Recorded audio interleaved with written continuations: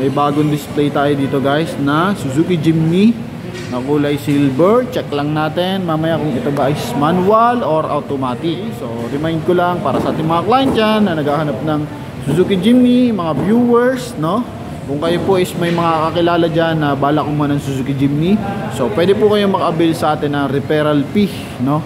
I-refer nyo lang po si Sir Norland, so pwede po kayong makakuha ng 3,000 up to 5,000 uh, referral fee. PM lang kayo kay Sir Norland, okay? So, so check natin lang guys kung ito is manual or automatic, no? Yan. So ito guys is uh, Suzuki Jimny na kulay silver. Okay, made from Japan. So CBU. Complete build from Japan po ito, no? So lahat ng dumadating sa atin ngayon is from Japan na po siya. And ito guys is 5 uh, speed manual. Okay? Sa mga manual driver. So mas masarap gamitin kapag manual transmission lalo na nga kapag ikaw is manual driver. So pasok na pasok po ito sa inyo. Sarap gamitin na drive ko na to, no? mas ma-aggressive gamitin ang manual compare mo sa automatic yan kaya sa ating mga client dyan na manual driver so ito na guys may available po tayo na uh, manual transmission then 4x4 na Suzuki Jimny. So tingnan mo naman yung ating dashboard no?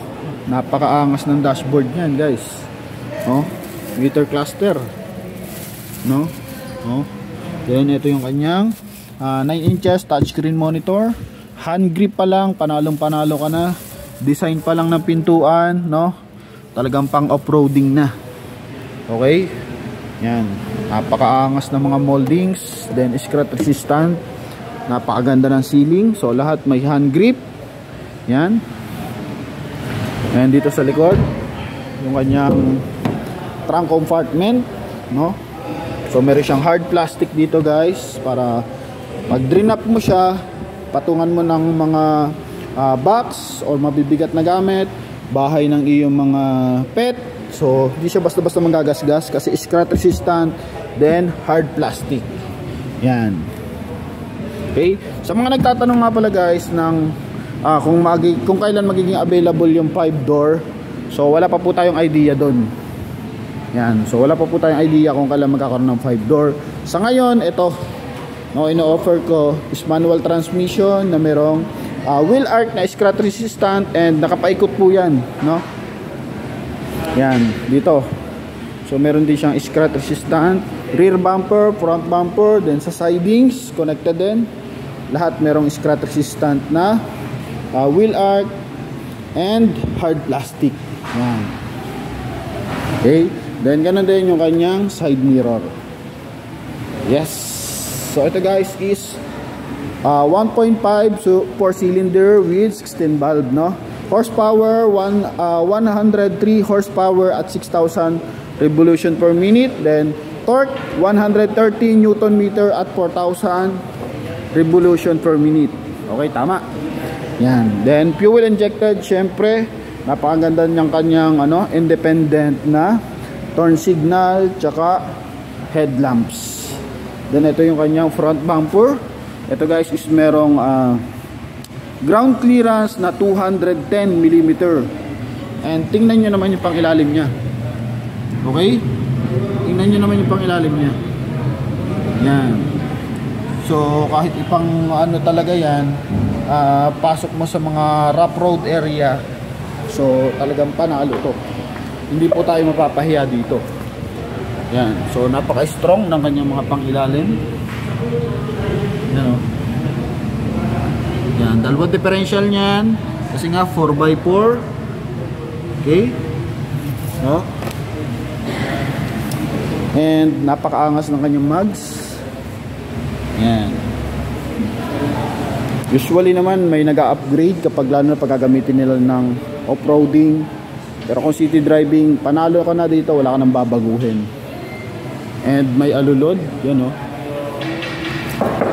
ganda ng bubong yan, so may alulod dyan and wide yung kanyang bintana no wide yung kanyang bintana and alam mo ko nagdadrive ka dito ng Wrangler pag naka Jimny ka no? Kasi para sila ng forma at saka disenyo. Almost the same talaga siya.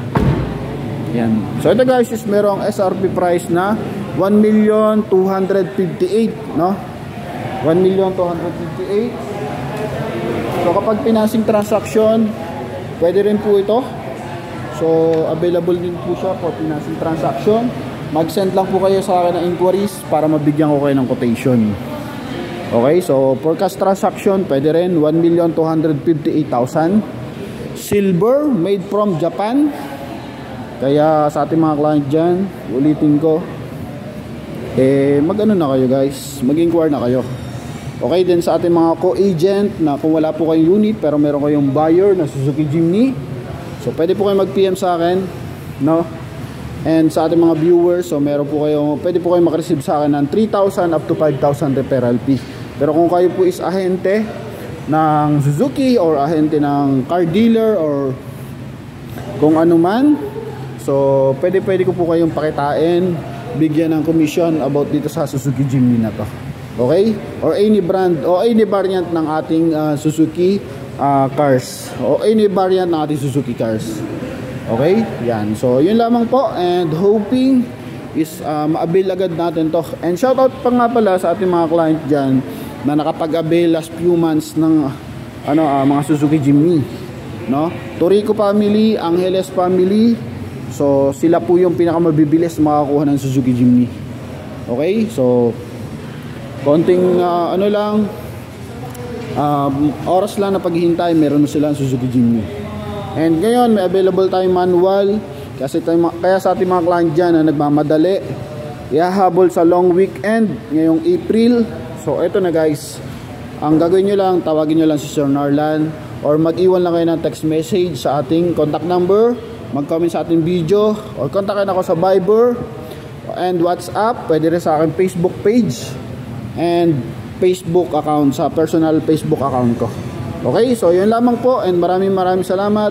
God bless you all. Bye-bye. So wag niyo po kalimutan mag-subscribe sa ating channel para maging updated tayo sa Suzuki Cars. Thank you and bye-bye. God bless.